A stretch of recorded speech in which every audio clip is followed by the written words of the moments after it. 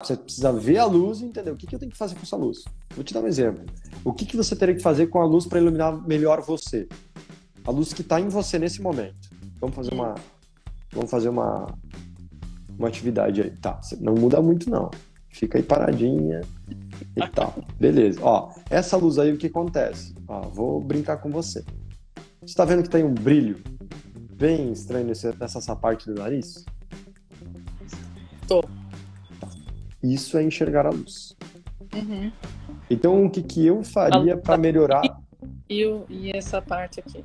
Isso aí. Mas o que me incomoda não é o brilho aqui, sim, principalmente aqui. Por quê? Traz a luz toda pro seu nariz.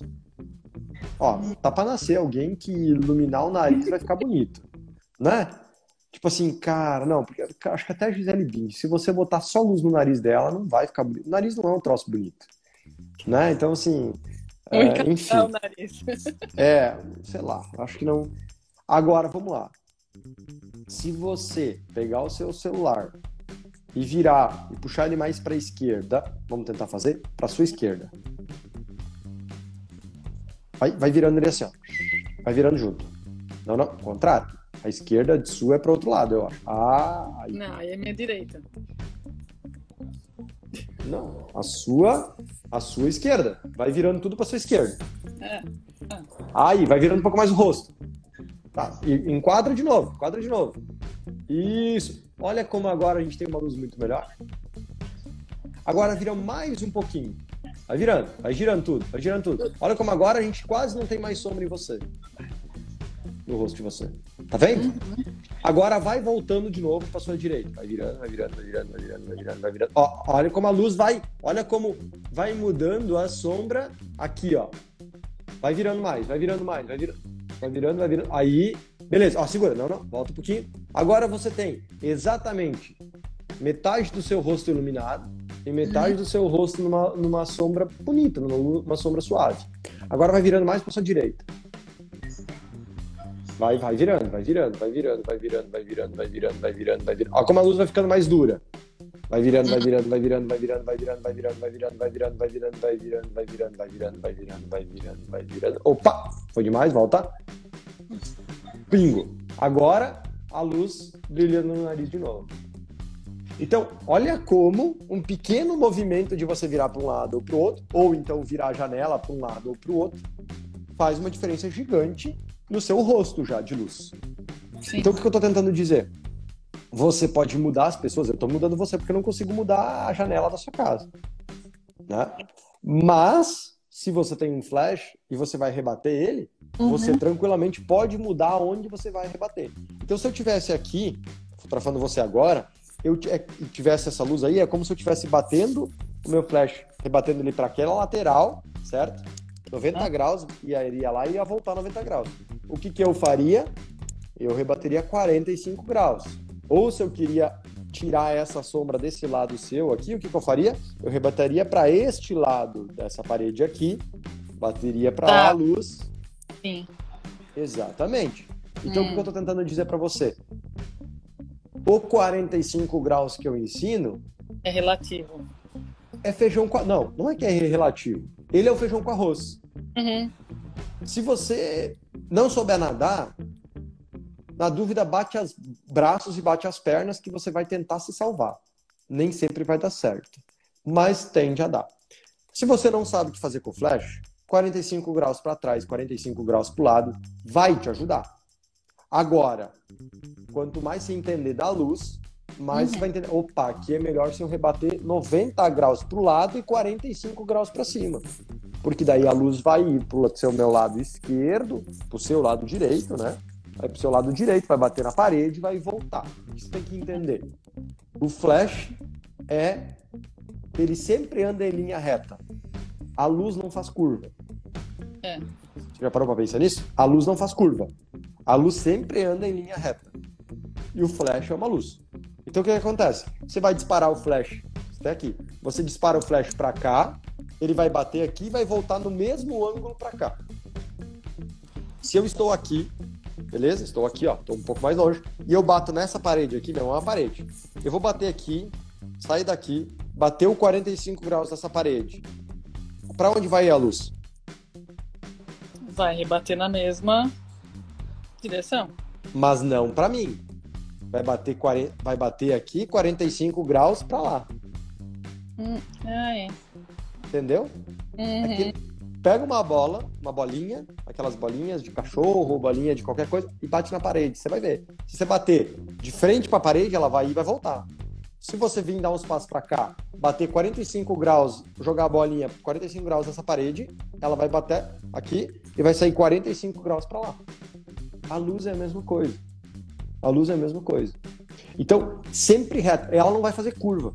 Então ela vai bater aqui, depois ela vai bater do outro lado, depois ela vai bater do outro lado, até ela ir perdendo da potência, até perdendo força, digamos assim. Porque às vezes a gente não tem essa noção da, da, da, da, da física, sei lá, né? De É. que sempre linha reta. Às vezes a gente, sei lá, a se atrapalha um pouco. E é justamente, você tem que pensar, enquanto você tá assim, ah, você tem, eu tenho que te iluminar.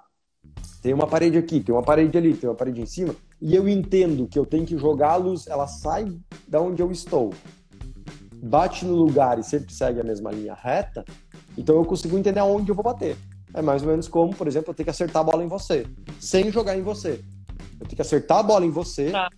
mas eu tenho que acertar antes de acertar em você a bola, eu tenho que acertar numa parede. Como é que você faz? Você joga, né? Por exemplo, estou mais longe aqui. Tem uma parede aqui do nosso lado esquerdo. Vou jogar aqui num ângulo aqui. Pá, pá. Bater em você. Tá. A luz é o mesmo esquema. Só que, claro, é mais fácil de acertar com a luz do que com a bola, né? Porque a luz se espalha. A bola não. A bola é uma, ela tem o mesmo tamanho, ela não vai se espalhar. A luz, além disso tudo, quanto ela sai do seu flash, ela cada vez vai se espalhando mais. Uhum. É que nem o sol. Pensa, o sol é uma bola e ele vai se espalhando mais. A luz vai sempre se espalhando mais. Né? Então, seu flash, quanto mais aberto for o zoom dele, mais ele já sai espalhado, mais ele espalha. Então, por exemplo, ah, eu tô com a minha 50, 50 milímetros ah, frente, e aí eu ponho o flash em relação à potência. É, você fala a altura do o zoom, né? Eu vou calcular ali que eu coloco na informação do flash, eu coloco que é, estou usando 50 milímetros, certo? Certo? E aí é isso que você quer dizer quando você fala o, o zoom? É, então, o que eu tava dizendo, se o zoom, quanto mais aberto é o zoom, mais ele já espalha a luz direto do seu flash. Quanto mais fechado tá o seu flash, o zoom do seu flash, ele já sai mais fechado e vai se espalhando menos. Uhum. Dar um exemplo. Você está num ambiente pequeno. Você está num ambiente pequeno. Pode usar. Não vai fazer tanta diferença. Agora, se você está num ambiente onde a parede é alta, o teto é alto ou a parede é longe, quanto mais fechado for o zoom, melhor.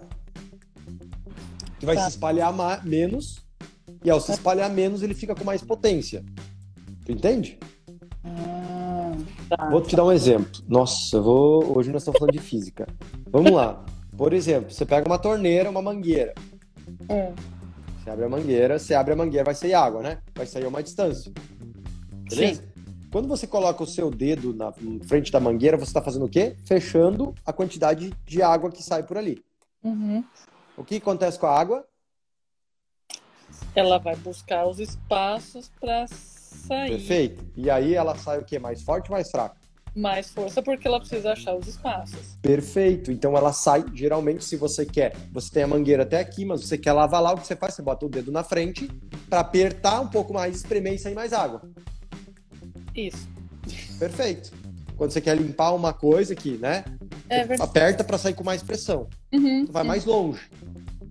Quando você dá zoom mais fechado no seu flash, a sua, a sua, a sua luz do seu flash também sai mais fechada, mais, mais é...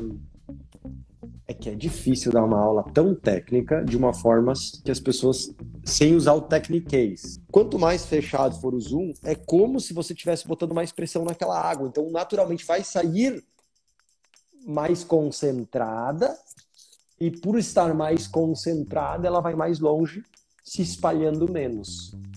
Hum, Então, quando eu estou numa distância longe do- da parede, do teto ou da parede, o que, que eu faço? Eu boto um zoom maior, um zoom mais fechado, para que ele saia mais concentrado do meu flash, consiga ir até a parede, até o teto lá em cima, bater lá e voltar se espalhando menos, mas como é distante, vai ter se espalhado bastante igual. ah, Ó, vou te dar um exemplo. Você fecha a mangueira, sai bem concentrada a água aqui. Passar dois, três metros, ela vai se abrindo igual. Não vai? vai.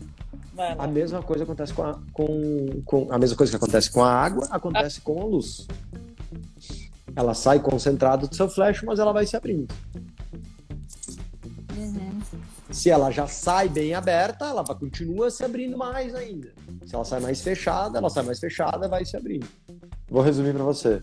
Quanto mais distante você está da parede que você quer rebater, o zoom deve estar mais aberto ou mais fechado? Boa, mais fechado. Isso mesmo, mais fechado. Então, isso é o resumo que você tem que. Depois que você entendeu essa teoria, você não precisa mais ficar pensando nela.